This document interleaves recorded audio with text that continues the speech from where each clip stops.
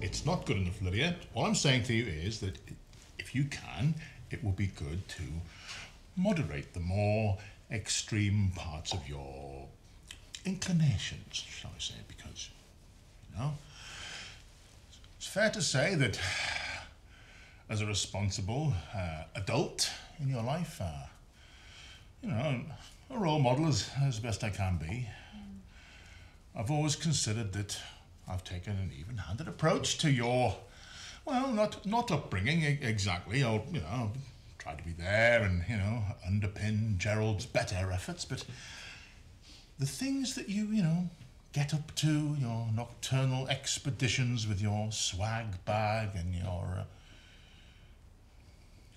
your you know, there are consequences, Lydia. That's all I'm saying. You know, I, I'm just all I'm saying is, you know, it's it's possible if you, you know, if you don't curb your urges, then you're going to end up veering away from the straight, narrow path that I would prefer that you maintained and end up in trouble. And I don't want that. And certainly Gerald doesn't. And the way his ulcer is at the moment, he can't afford, he can't afford to take any chances with his health. And he, um, he doesn't, doesn't hold you responsible for his, for his ulcer or which is uh, often a consequence of an eating disorder, and certainly not in his case. I'm surprised you haven't.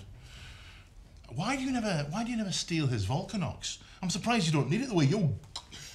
The way.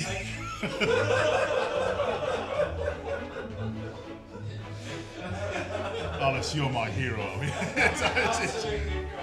Yeah, and there's loads left as well, you know.